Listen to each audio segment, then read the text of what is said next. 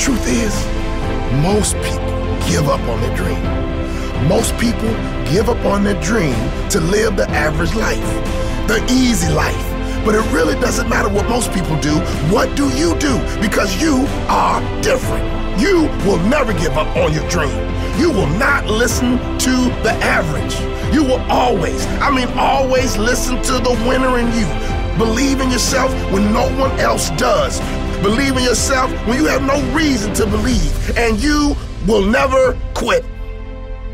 I know some of you are going through a rough time. Some of you are going into the fight of your life. Fighting for your future, fighting for your career, fighting for your family. Some of you are fighting for your life.